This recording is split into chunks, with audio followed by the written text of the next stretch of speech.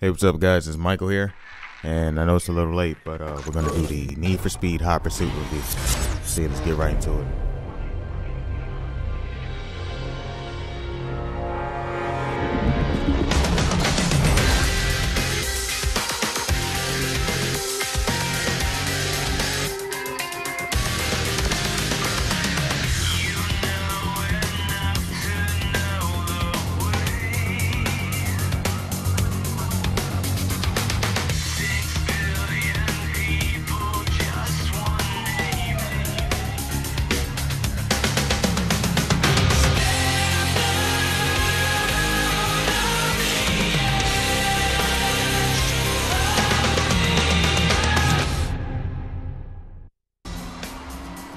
The Need for Speed series has always been around for quite some time now.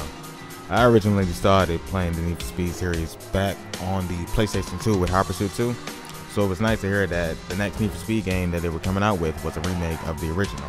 So here we are with the final game, and Criterion brings the Need for Speed right back to its roots with the cops and the latest and ultra fast cars from Porsche, BMWs, Fords, and of course, Aston Martin.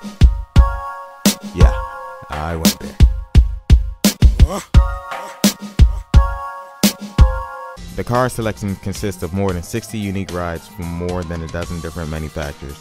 Every car is separated into five categories like performance, sports, exotic, and more.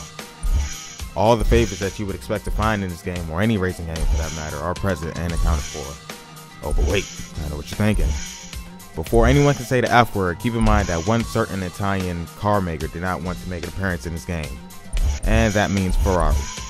As good as the car lineup looks, though, it's not incredible, and it's noticeable that bit too much repetition.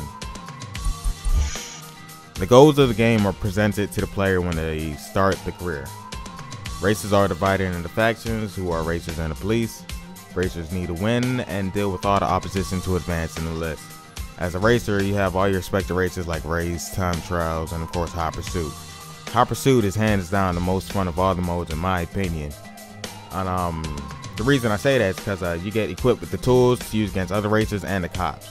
On the other side, there are the police. Officers of the law will come by responding to emergency calls, shutting down races, and disabling cars. They also have tools that they can use against you as well, of course. Um, both racers and police officers earn rewards for accumulating experience, and those rewards earn more cars, more weapons, and tools to assist them in their respective careers. What's a really cool feature for those who keep their consoles connected online is Autolog. With Autolog, you can send challenges back and forth to your friends, share pictures, and basically taunt and intimidate anybody on their friends list. Autolog will update you and others when a friend breaks, like, um, let's say, a record you did for a race.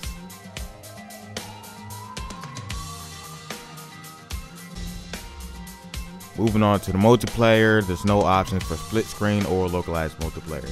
So your only options are to kick it with buddies over Xbox Live or the PlayStation Network. Online does require the use of the EA's online pass though, so if you borrowed, bought, used, or sold the game, you will only be given a 48 hour trial period. After that, you need to buy online access for $10. There are three multiplayer modes, Hot Pursuit, Race, and One-on-One. The game supports up to eight players for each mode, except One-on-One of course. In Hot Pursuit, you will be uh, put against four other racers and four other cops. Your goal is to finish first while also trying to survive to the end. As a cop, you need to take down all the racers, but it's not as easy since they also have tools to dispose of you as well. Regular race is, well, regular race. Enough said. Unless you have some buddies to play online with, I might say the multiplayer portion of this game is kind of boring. Overall, the challenge is high and game is incredibly fun. Even with some previous features of the series left out, the game still feels very finished and polished in all aspects. The game is for racing fans of all kinds, and anyone picking this up is sure to enjoy it. If you play your game offline though, the experience might differ drastically. Thanks for watching. Comment, rate, subscribe.